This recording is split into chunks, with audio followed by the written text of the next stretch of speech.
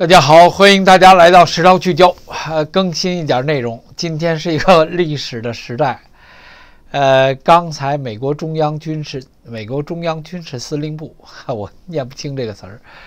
美国中央军事司令部的司令宣布，呃，长达二十年的在阿富汗的战争结束。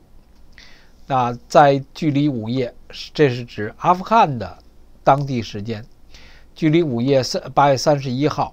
零时还差一分钟的时候，呃，最后一架 C 十七这个运输机离开了这个坎贝尔机场。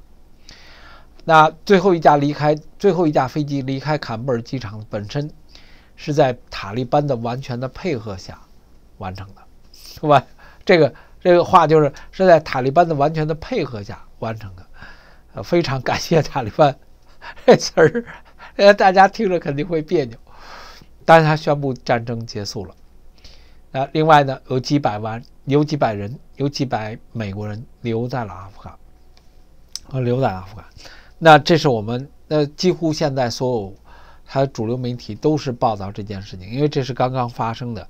透过一个时差，呃，随着最后一架美国飞机离开坎布尔，数百名美国人留在了阿富汗。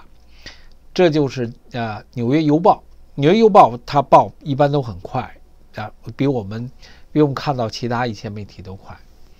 啊，美国最后一架飞飞机离开坎贝尔国际机场，呃，结束了长达二十年的美国最漫长的战争。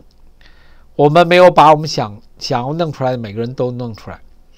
那麦肯齐，也就是说中央，呃，中央的叫什么？中央司令的承认。他们没有把所有想弄出来的美国人弄出来，那这这个话呢，我我个人觉得就非常，这就非常惨痛了。这个这句话就是非常惨痛。那同时间，在福克斯的新闻网，他的报道就是说，拜登，拜登打破了自己的承诺，留下了数百名，留下了数百名美国人，呃，在。在在嗜血的阿富汗的塔利班的手里面，人质外交，我们跟大家解释过，肯定会出现，这是毋庸置疑的。那现在的美国的一切，现在美国的一切掌握在塔利班的手里面。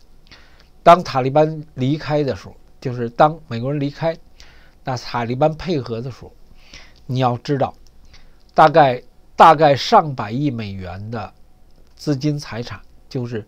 原来阿富汗政府的资财产，在曼哈顿地下的金库里。